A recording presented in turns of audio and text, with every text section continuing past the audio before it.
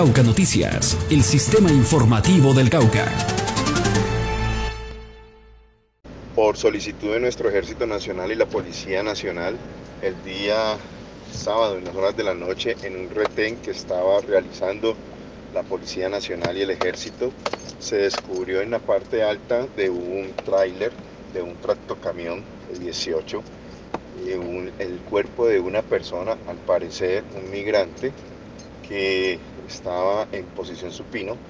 Esta persona presentaba un trauma craneoencefálico severo. Al parecer esta persona venía en la parte superior y seguramente con algún objeto pesado, alguna, algún elemento como una valla vial o con una rama de un árbol, alguna cosa así, se golpeó estando ahí arriba y murió. Eh, la Policía Nacional y el Ejército hicieron el procedimiento como autoridad competente. Nosotros lo que hicimos fue aplicar todo el protocolo frente a la recuperación de un cadáver, bajarlo y entregarlo para que eh, actos urgentes pudiera empezar el proceso de determinación, quién es la víctima y demás desarrollos.